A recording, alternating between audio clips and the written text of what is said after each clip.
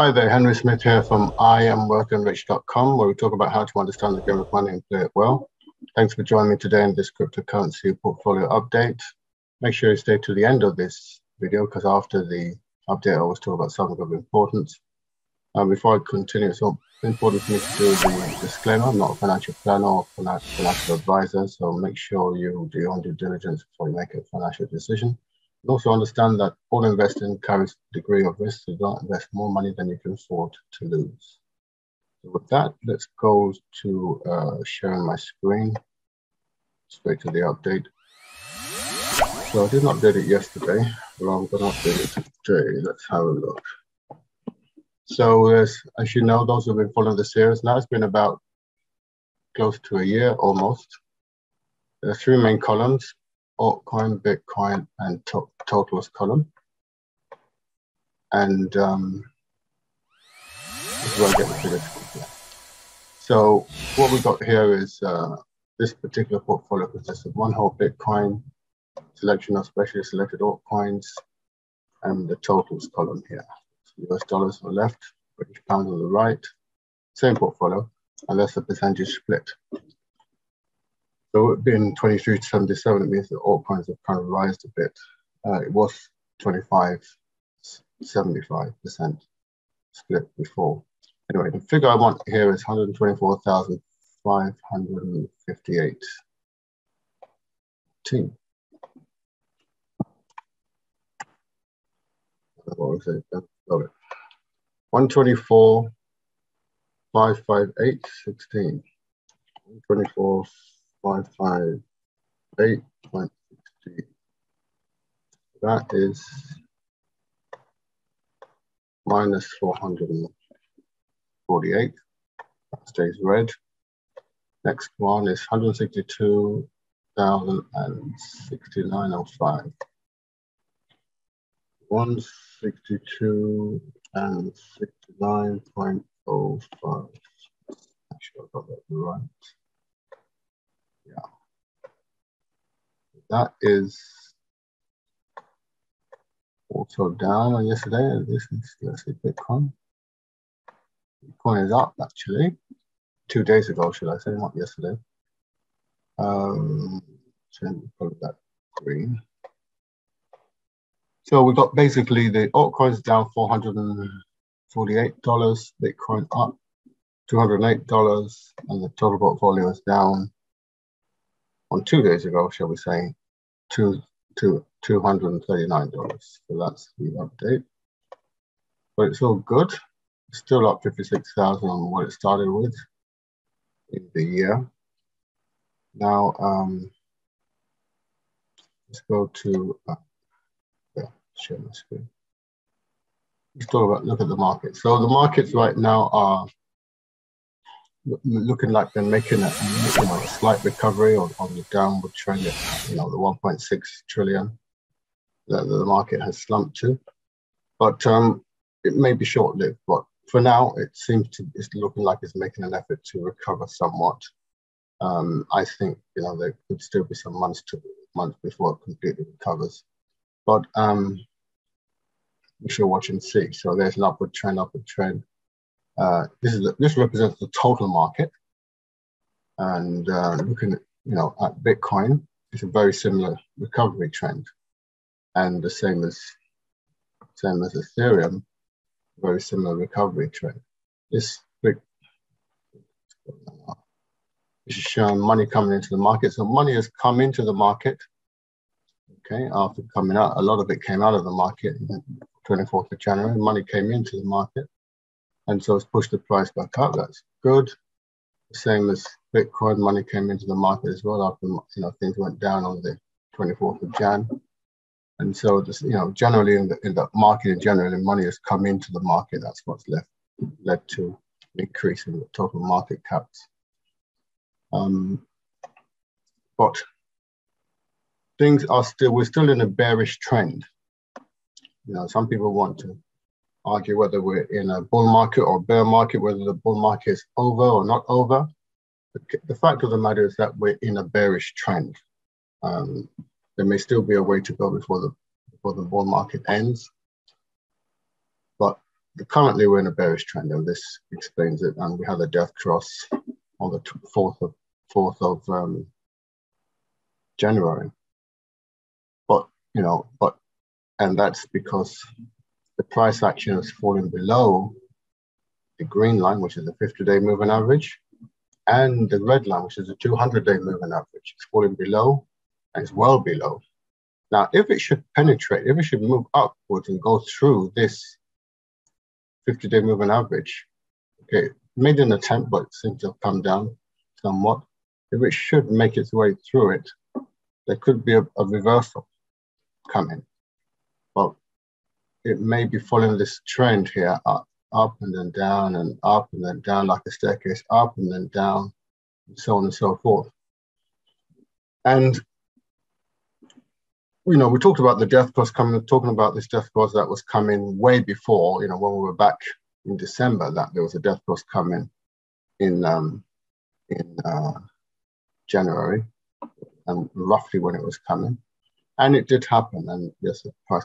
But there's also two more death crosses coming, possibly coming. I talked about one, well, that one that's happened on the MACD a few a few days ago, or maybe a week ago but um, that was a MACD death cross.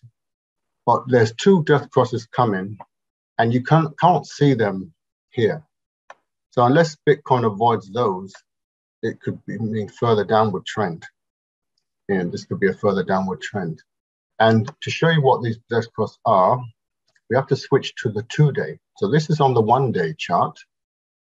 We switch the time frame to the two day, two day two-day chart, you actually see, and the two-day dot chart has a lot less false signals.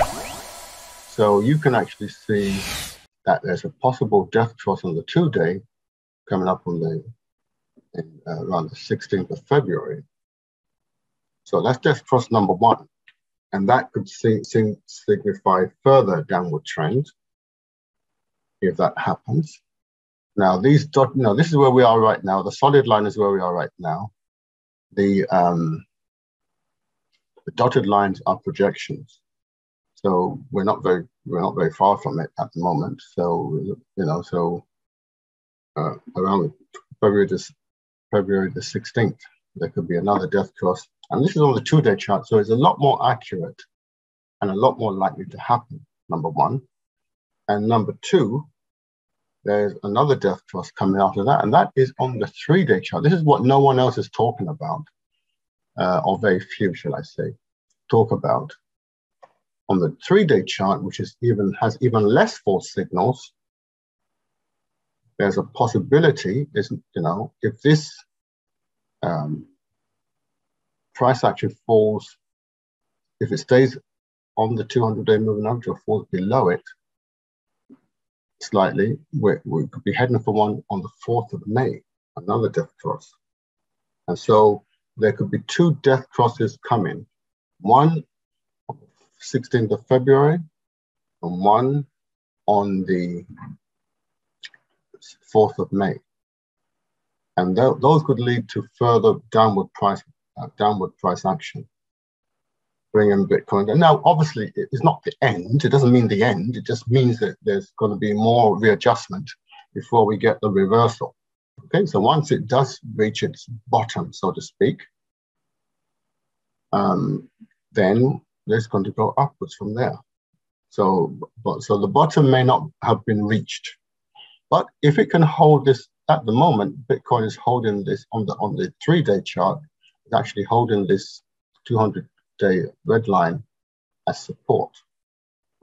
But if it doesn't, if it doesn't hold it as support, even if things stay the way they are, it's likely to be a death cross. So it's it's likely to, you know, for that death cross to happen, which means price actually is likely to go lower. But we'll wait and see. We'll keep you posted. Make sure you keep watching the videos. Make sure you hit the notification button so you can be updated and you don't want to miss that as, as we approach that. But you know, what very few people are talking about, you know, when you zoom out, you get a lot more accurate picture than just looking on the day chart. So the day, day chart shows the first death cross. Okay, that was the death cross on the day chart, and we're talking about that since December. The two-day chart talked about is zooming out further, and again, more accurate than the day chart, and that shows a death cross coming in the 16th of um, of February, and that is very likely to happen because we are way below 200, the red line here. So that's like as good as done. Uh, but you know, nothing is certain in crypto. That's the one thing. Nothing is certain in terms of price action, market prices. But it is more likely to happen than less at this stage. And then obviously, I mentioned the green, uh, the three-day chart, where it's a very good projection. It could happen around, you know, the first week in May if things are continuing the trend that they're happening. You know, once the uh, the 16th, the one happens on the 16th, happens, you know, as as shall I say, almost scheduled or scheduled, then it looks like the um, 4th of May, 5th of May. This will vary according to how it behaves. If it, if it holds as a support, it might, it, I think it would still happen. But, it, but if, it, if it rises up and reaches back into this line, the green line, and it's less, less likely. Um, also, um, and we're looking at Bitcoin and Bitcoin and Ethereum because the, the, these guys are the king and queen of the crypto world, same, same kind of price swing, uh, price action, momentum, uh, although they're slightly different. But um, what I wanted to show you, you know, is that you know these two are very, very important, and you probably already know that already. You know, Bitcoin has, has the, is the lion, still the lion's share, still the king of the um, crypto world with 40% of, of the market share. Ethereum at 18, just under 20%, 18.1%. So these two are really determining the uh, you know 60% of the market, virtually almost 60% of the market, 58 point something, 58 point something, almost 60% of the market here just Bitcoin and Ethereum. So this is the king and queen here, and we've got some great cryptocurrencies, uh, um, blockchain projects here as well. But 60% are determined by, you know, that's why when Bitcoin goes down, they, it all goes down. And Bitcoin and Ethereum goes down, they, everybody follows. Majority, mostly everybody follows. So um, that's, that's the percentage split between um, you know, Bitcoin compared to all the rest, so on and so forth. So Anyway, if you like content like this, make sure you like and share this video. Don't forget to visit our website at IamWealthyandRich.com. Try to understand the game of money play it well, and scroll down and, and get yourself this um, your millionaire mindset and uh, investment strategy free now. Very simple strategy. Get your finances in order, and um, you can come back and read, listen to some of my videos as well. But um, most mostly um, I want to thank you very much for watching. And don't forget to, um, like I said, hit the subscribe button, the like button, the notification button, and share it as well. Okay, I look forward to seeing you on the next video. Have a great day. Bye for now.